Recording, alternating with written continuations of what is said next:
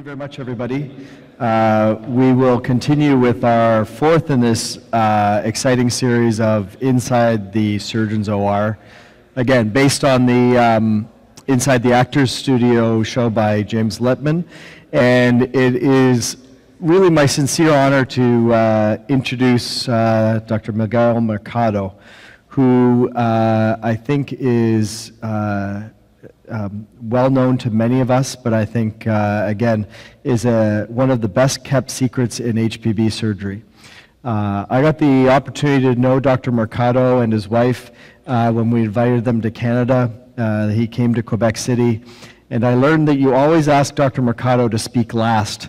Uh, in a symposium, because whatever uh, experience that someone is talking about in that symposium, his experience uh, will be 10 times what that other person's was, and it's always better if he speaks last. He's extremely uh, humble, uh, extremely well spoken, and extremely thoughtful surgeon. And so, again, it's, it's actually my honor uh, to, to speak with him today. And so, um, again, just as with all these uh, sessions, it's meant to be interactive. If uh, people have questions, we're certainly open to that. So, again, I thank you, Dr. Mercado. So, Dr. Mercado, you and I, we got to know each other a little bit. We've conversed over the last couple of months, and I was always interested in, you know, in this series of how people got to where they are today. And you, you and I have spoken a little bit about what led you to uh, become interested in surgery, and you talked about the importance of mentorship. Can you tell us a little bit again about some of the people who are important in your life in terms of uh, getting you interested in surgery and, um, and how those uh, experiences shaped your eventual sort of career in, in, uh, in hepatobiliary surgery? Yes. Well, uh, I was interested in surgery since I was uh, 10 years old. I used to operate on every doll that my cousins had. Every doll had an incision in the belly, and suture incision, and they were very angry because I did an incision in the, in the belly of the dolls. And also I operated many, many lizards. I, I had a slingshot. I think that I killed many lizards. after they were dead, I began to operate on them. So I wanted to be a surgeon. Uh, and I realized that I had to study medicine to be a surgeon. And then uh, I went to the very nice university, small university in Mexico, public university, and I knew there are two surgeons, Dr. Carlos Nava from Mayo Clinic and Alberto Alcocer, uh, and they were the type of model of surgeon that I, I like very much. And then I went, I heard uh, a lot of academic surgeons speaking in our school, in between them Dr. Campuzano and mainly Dr. Hector Orozco. Dr. Hector Orozco, who was a figure, the best academic surgeon in our country, and I made a very nice friendship with him. And I wanted to be like him. I, I saw he was some type of different surgeons between the others. And that's why I began to, to uh, copy the model of an academic surgeon. That's difficult in a country like Mexico to be only an academic surgeon. Uh, it's not a very difficult in our hospital, but in many hospitals of in small cities in the country, it's difficult to be an academic surgeon. So I started to copy this role. That's why I became to the, our hospital, and then I began my career there, mainly focused to an academic role. And for many of us who may not be as familiar with the Mexican medical system, what was it about those smaller hospitals that made it difficult to be an academic surgeon? Yes, because uh, the, the difference in our country are, are between population are large. You know, there is still a poor country, and no everyone has access to first-class medicine, I would say that. Eh, and so this hospital created 70 years ago uh, was a, a, model from um, the Brigham's Hospital in Boston.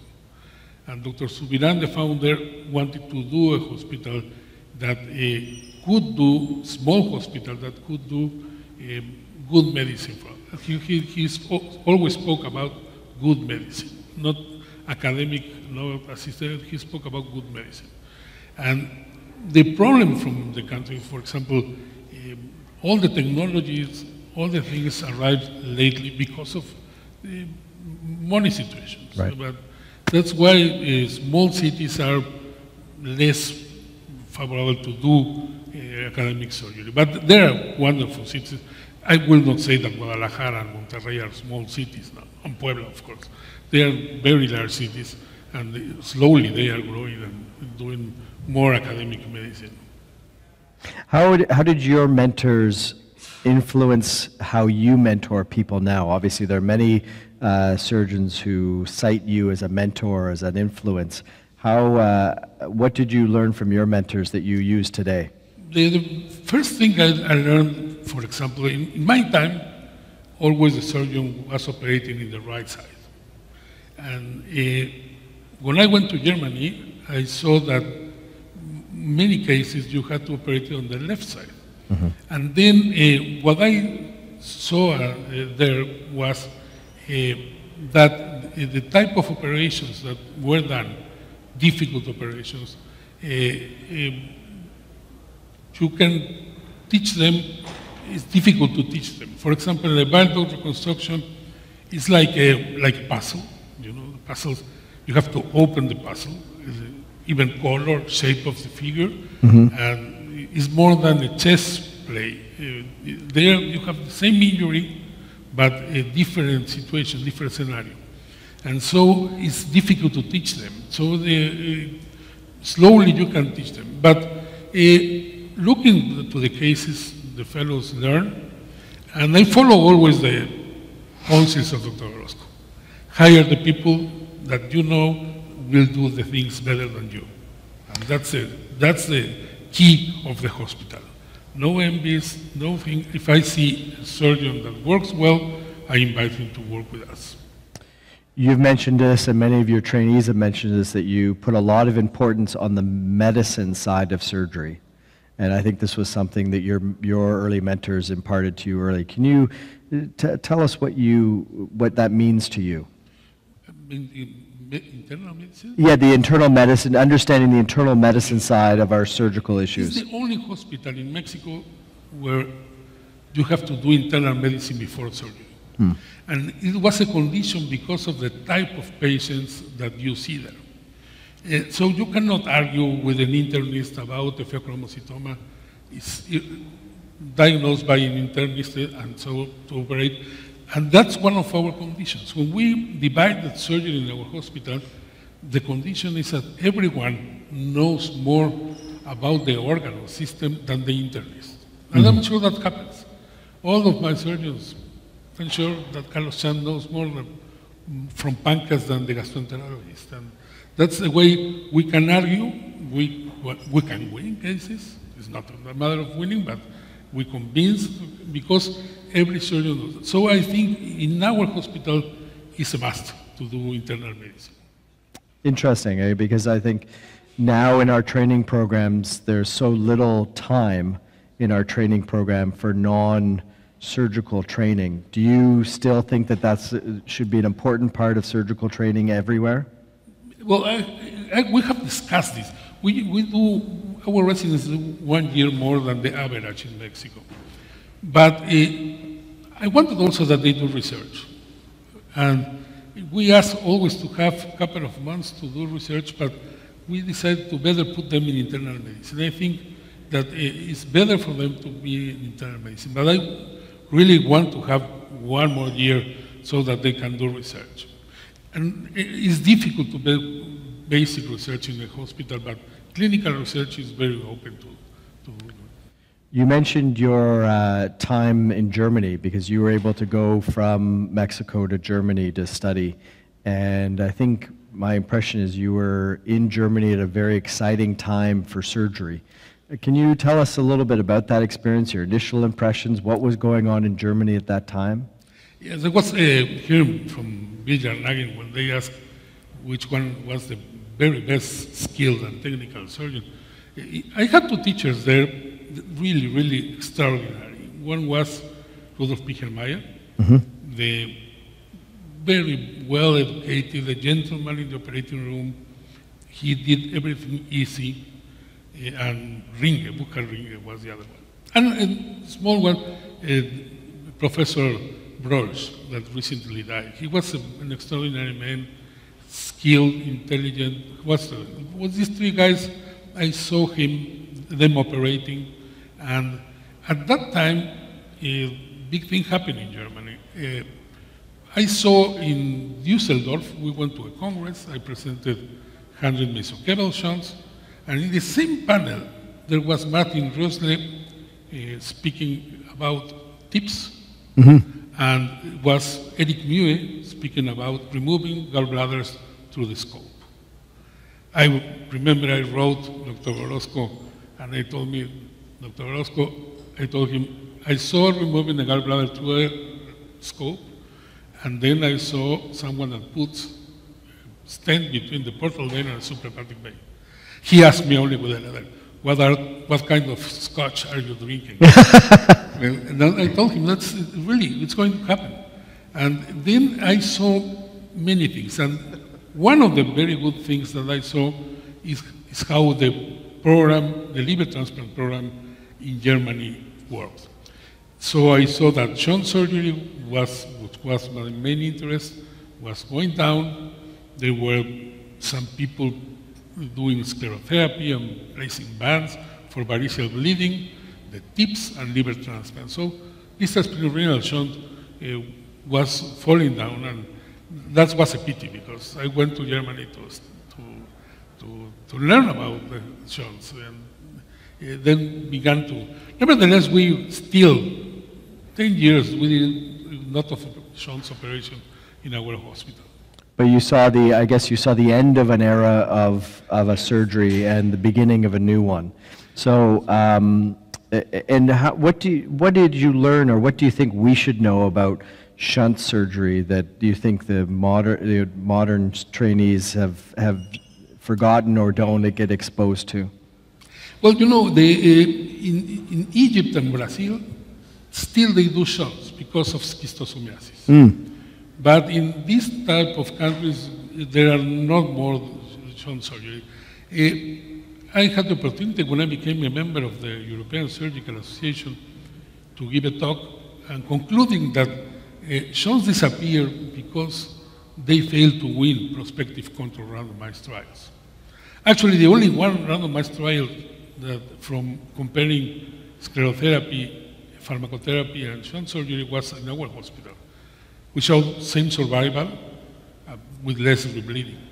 But um, I I think the, then we wrote a paper who said Claude Organ invited us, uh, the rise, splendor, and fall of a surgical empire, and he moved splendor, rise and fall of a surgical empire. and then, uh, but shunt surgery, I, I am sure, still has a place.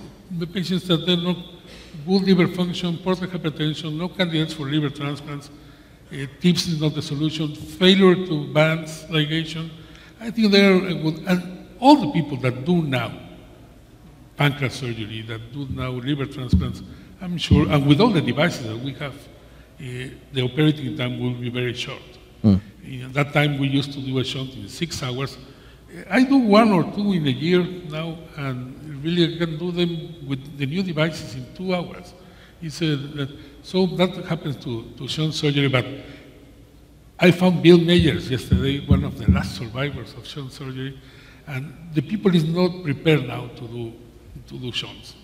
There is a, a, some type of operation that you have to see many times so Yeah. that you can get an expert in this type of operation. You uh, mentioned in Germany you saw your, um, you first were exposed to laparoscopic cholecystectomy. And tell me what that first op, seeing, you obviously saw that operation being performed. What was that like? Walk, tell us what you felt that day in seeing that first operation. Yes, when I saw it was in 86, 87, 86, in, uh, and then uh, recently released the operation. And they were looking, because they were developing the instruments, mainly the clip applier. But what I saw, uh, I saw injuries. And I wrote Dr. Orozco, it will arrive to Mexico, and please me, let me repair the injuries. What are you talking about? Eh, this type of operation has, at least at the beginning, more injuries. And that's why, but that was a fever, you know, to do everything laparoscopic in Germany. Eh, Germany is, I, I think, is a country with a lot of technical developments. You know, when, when you see, I was always asking my teachers there, eh, you see, we build Mercedes, we build BMW, we build uh, Porsches. We do things well. They told me, they told me always, we do things well. When you returned to Mexico, did you, you brought that procedure back with you? Did you teach it No. much? No? No, actually, the very first cholecystectomy was not done in our. It- The first was done in 91. I had to wait for two years for injuries. No, that's not true, but I had to wait uh, to, the first cholecystectomy was in 91. What I brought from Germany to Dr. Orozco was telling him the most virtuous cycle that I know. When a surgeon does an operation, everything happens well. Uh, less complications, less hospital stay, uh, you can teach it better, you can investigate it better. Everything works when one group does one operation. That's what I brought from Germany. I was telling Dr. Orozco at that time, uh, uh, Carlos Fernandez at that time was moving to Boston uh, as, as a research fellow. And uh, he was also very interested in not only in pancreas surgery, but also in parathyroid surgery. Yes. And I was telling him, there's a guy in Germany that fixes every hyperparathyroidism. He was, and he knows more hyperparathyroidism about than the endocrinologist. And that's what I brought from Germany. Then slowly came the laparoscope, and actually I not, did not become a fan of laparoscopy. I, I, I, I like it, but I, am not a fan of laparoscopy. So we've often talked about how laparoscopic cholecystectomy was introduced, and you mentioned the uh, initial negative consequences, and that was the injury. When you look back at how we introduced that technique, do you have any specific thoughts on how new operations should be introduced? Yes, I, I, I- I think uh, this uh, pressure of the industry and uh, see one, do one, and teach one. And um, I want to say what 25 years ago they saw it. From pig to woman in one day, uh, that you learn to remove the gallbladder. I think uh, uh, everyone should have um, more some type of, of training of this unusual way of operating. Nowadays, we see it easy, but at that time, I, I think that uh, uh, conversion is one of the nice things. I still, I am defend the open cholecystectomy in Boston in the uh, uh, expert panel for duct injury. I told them to, to do open cholecystectomies, and they told me, uh, you see better with the laparoscope. I told no, no, in the open, the hand is that the one that operates. You operate with your hand. And if you can put your hand inside. And so I think that was very fast the way the, to, to teach laparoscopic cholecystectomy. And I think that that was the situation because in the 90s were so many injuries because everyone wanted to do, even the endoscopists wanted to do uh, cholecystectomies via laparoscope. You have amassed probably the world's largest experience in repair of bile duct injuries. What was it about you or your environment or your hospital that allowed you to become the go-to person or amass such a, an incredible experience? It's difficult to answer, but um, our hospital, for example, was a reference center for portal hypertension surgery. And I wanted to do that with bile duct injury because I thought it's going to happen and they're going to arrive the, the, the injuries. And then uh, I began to speak about that. And the very early uh, development of laparoscopic cholecystectomy, I began to speak about, and we had a lot of experience with Klatskin tumors in, in Germany. The, in the, uh, in Hanover, there were an extraordinary center for biliary surgery. So uh, I was able, I told Dr. Orozco, the way to repair them is very similar to remove a Klatskin tumor. And, uh, and then uh, one of the things that I want to, I'm sure I want to, to know that in heaven, but why, very nice, I know this is an operation contra natura, to put a jejunum in the bile duct is not a good operation, but it's the only one that you can do. But uh, it bothers me that in some instances you do an extraordinary technical well operation and one year after it's closed. And that's a, a thing that uh, I want to always to, to ask her, know what, why this happens. You know, it, it's a very nice way to help people. Uh, young woman, healthy, with an injury, a severe injury, as Steve said yesterday, and then uh, and you can fix them and return them to normal life, but still living with the idea of having cholangitis, with the idea of uh, having strictures, is not very well done. But I, uh, I think that is not the best operation, and I began to to to do research about that, mm-hmm. clinical follow-up, and then from the country, all of the country began to, to send me the, the, the bile duct injuries. And that's why we developed the center. I have very nice fellows that have learned to repair them, and many other hospitals in our country. I don't know how many injuries we produce in a year, but I was hearing Steve, he, he speaks about 400 in a year. I don't know how many we do in, we have in a year, but several hospitals do them now. Right. If you were to speak to a surgeon, a young surgeon perhaps, and give him Dr. Mercado's three most important tips for repairing a bile duct injury, what would those three things be? To deal with an injury, Yes. uh,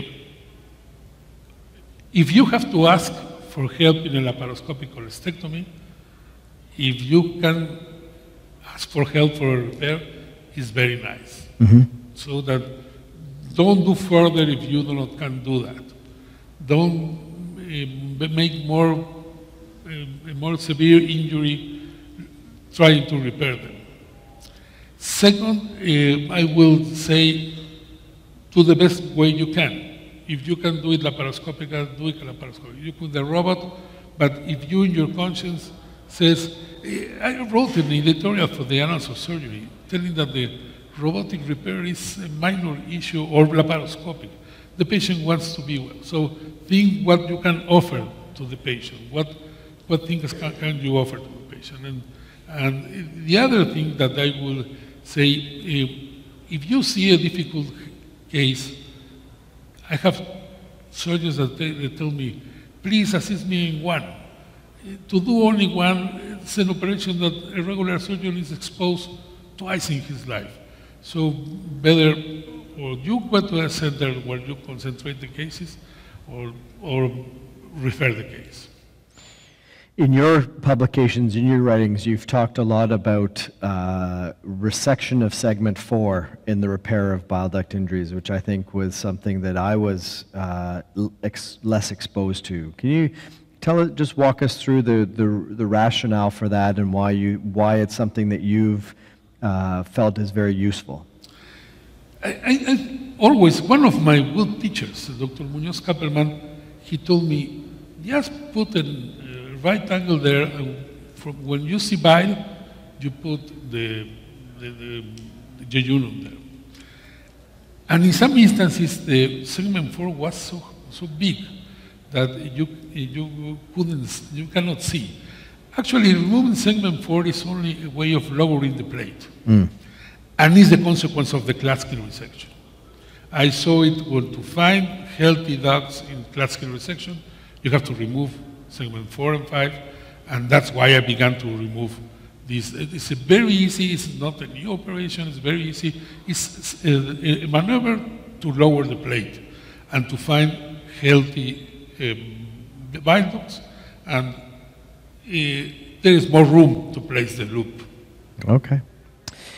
What is your ideal day? What is the best day for you at work? What does a best day look like? Um, as a chairman of, uh, I am supposed not to operate. Hmm. I have now three, well, we're four in HPB now, and uh, Carlos Chan, who is the big boss in pancreas, Mario Vilatobá, the big boss in transplants, or Alan Contreras, and also Ismael Dominguez, who is a very nice researcher. And I am now giving them the opportunity to do bile duct repairs. But they are, eh, I don't like the administration of the hospital. I don't understand it. So everything that I have to sign has to have the signature from everyone from the hospital.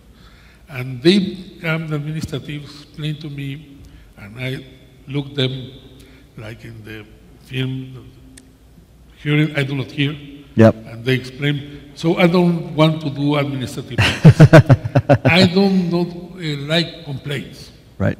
Mainly, I do not like disruptive surgeons. I don't like the people that get angry in the operating room. And, and, and each time that one nurse comes to me and says, this surgeon went mad in the operation, uh, that, that I do not like. The, the best thing that I can do is uh, to operate and then um, I begin to, to think about future papers. Okay. And I will tell you something. I begin, on the contrary, writing first the discussion. Ah.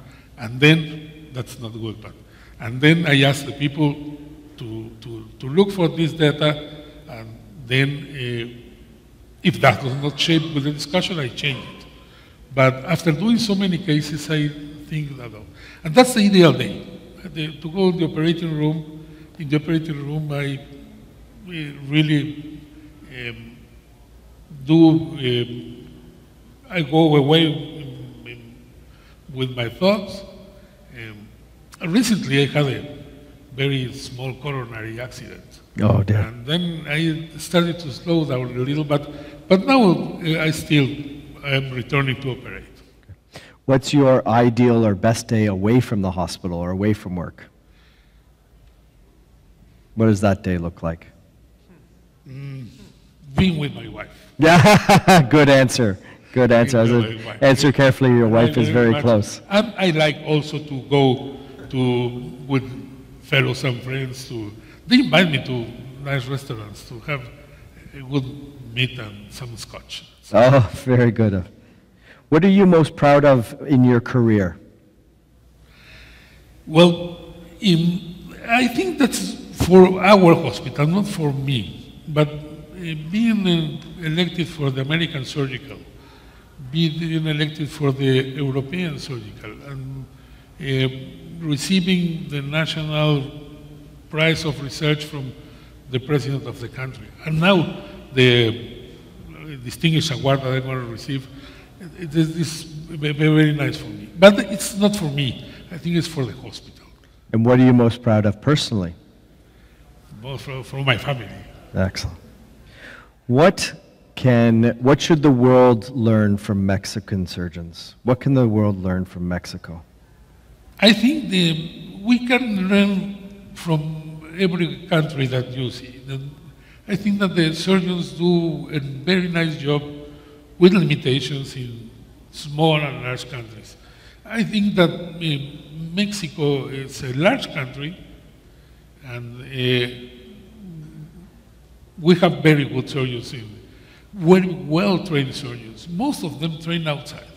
Most of them train in the United States. And I really like that uh, many of our residents stay in the United States. And that's a pity because the country cannot offer or give them what they want. And that makes me a little, a, little bit sad not to give the opportunity in Mexico. But I think that uh, you can learn many things in the country, the type of medicine that we do with special things, for example, uh, maybe liver abscess, is not, we don't see it at the hospital, but it's a- some type of pathology that we still see in Mexico. Are there any questions from the audience that they would like to ask Professor Mercado? Well, I, it's been a sincere honor for me, sir, to sit here with you and to, uh, to get to know you better. I think on behalf of the audience and, uh, and the HPBA, we're uh, extremely grateful that you've taken this time to share with us. And uh, again, thank you for sharing your expertise with us and the world. Thank you. It's an honor to be with you. Thank you. Thank you. August. fantastic.